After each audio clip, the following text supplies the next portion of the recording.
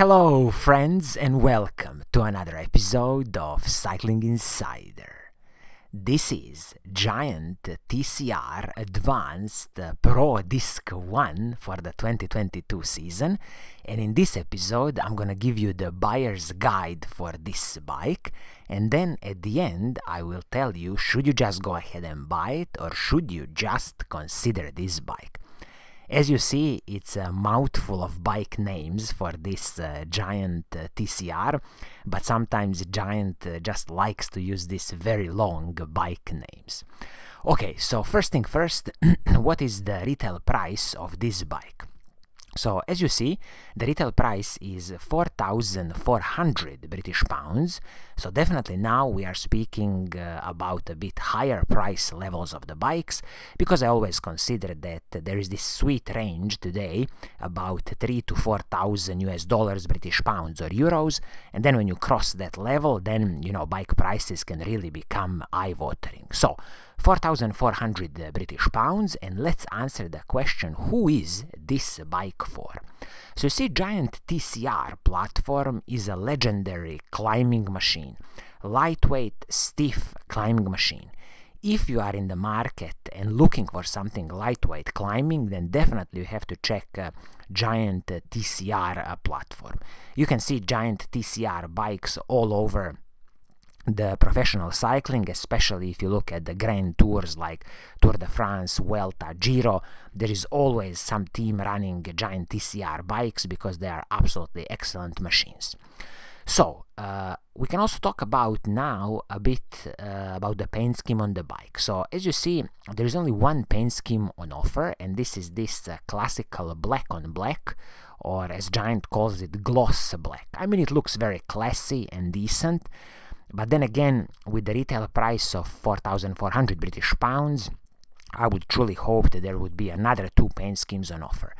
This is one of the things that you might notice on a lot of bike brands that uh, depending on the bike model you are buying, there could only be one paint scheme on offer like in this case.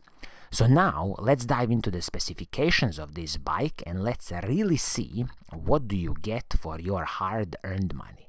As always, uh, we are kicking off with the frame and the fork on this bike. So the frame is carbon fiber advanced grade composite from Giant and also the fork is the carbon fiber advanced grade composite with the full carbon uh, overdrive steer. Both frame and the fork uh, come with internal cable routing 12mm through axles and also flat mount disc brakes both front and the back. This frame is gonna be with the SRAM DUB uh, press fit bottom bracket standard because you will see the whole group set on this bike is going to be a SRAM uh, group set, SRAM rival group set. Also keep in mind that uh, Giant's uh, frames come with a lifetime warranty, which is absolutely superb, and also uh, keep in mind that Giant is a truly a legend when it comes to making carbon fiber parts, frames, forks, and everything else, and they truly know what they are doing. So absolutely no complaints here uh, from me about this uh, carbon frame and the fork. When you look at the handlebars, handlebars and the stem on this bike, what do you get? So the stem is the Giant Contact SL and also the handlebars you are getting Giant Contact SL. So these are aluminum pieces, absolutely fine, no complaints here. And also I'm really glad that both handlebar and the stem are uh, regular pieces, uh, separate pieces, nothing is proprietary here. So it's easy to, you know, replace in the future, upgrade or if you want to fine tune the position on your bike, this is it, it's super easy. So I'm really glad that handlebar and the stem, in this case, nothing is proprietary. When you look at the saddle, you are getting a Giant Fleet SL saddle. Well, Giant saddles recently have been very good, uh, so I would definitely suggest you to keep this saddle as long as possible if you like it. If not, uh, saddles are a personal preference and very easy to replace. And also the seat post on this bike, of course, a giant uh, carbon fiber seat post, uh, excellent stuff. It's a must-have on any road bike, in my opinion, because uh, carbon seat post is going to soak up so much of the smaller road bumps. Now let's have a look at the group set on this bike. So what do you get? So everything from uh, shifter's front mech and the rear mech is the SRAM Rival ETAP group set. So this is a 12 speed wireless group set. So all the components are communicating wirelessly, which is absolutely great. So there's no cables on the bike, and this SRAM Rival ETAP has been long enough on the market that uh, any kind of uh, little problems that it might have in the beginning has been sorted now. It's a perfectly fine wireless group set. It's going to work perfectly fine. I will just mention here that when you look at the rear mech on this bike, the maximum cassette you can fit is 36 tooth cassette, which again is absolutely excellent. Uh, and uh, this is going to be a two chainring setup and the front. Uh, braking system on this bike is also done by SRAM Rival hydraulic disc brakes with the SRAM Paceline rotors.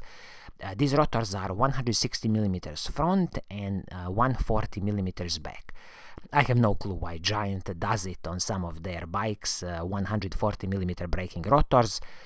Personally, I advise you when you destroy this rear rotor, buy yourself a 160 millimeter Paceline rotor and just mount it there you'll have so much more heat dissipation and so much more braking power. There's no point of saving few grams on the braking rotors when ultimately what you need is a braking power and heat dissipation. Especially imagine if you are going uh, downhill on some very long downhill, like few kilometers of downhill, you don't want your brakes to overheat. So definitely 160 millimeters both front and the back is my advice for uh, braking discs. Now let's talk about the cassette and the chain. So the cassette is the SRAM Rival 12-speed cassette, and this is the Rival XG1250 cassette. Absolutely beautiful uh, piece of engineering, but just keep in mind that in the future, uh, when you need to replace this cassette, this is a pricey item. This is going to set you back approximately 130 euros or US dollars or British pounds, so it is a little pricey item. Chain, of course, they have used the SRAM Rival D1 chain, perfectly fine and I also advise you in the future to use a SRAM rival chain or any other uh, SRAM compatible 12 speed chain just because it's going to be compatible with the cassette and the crankset. Uh, also, uh, when we spoke about the cassette, I forgot to mention that this is a 1030 cassette, and this is paired with the crankset, which is SRAM Rival crankset D1. This is a 3548 uh, crankset, and also it comes with the power meter, which is absolutely excellent in this price range of 4,400 British pounds, you rarely see a bike with power meter. So uh, absolutely excellent. So uh, two chainrings at the front, 3548 paired with a 1030 cassette.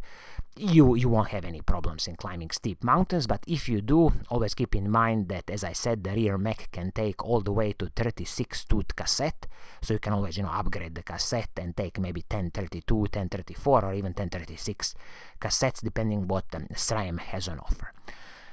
Now let's talk about the wheels on this bike, uh, because I think this is also one of the secret sauces of this bike. So you are getting, in my opinion, excellent Giant SLR1 42 carbon wheel set. So this uh, carbon wheel set from Giant I think is truly excellent.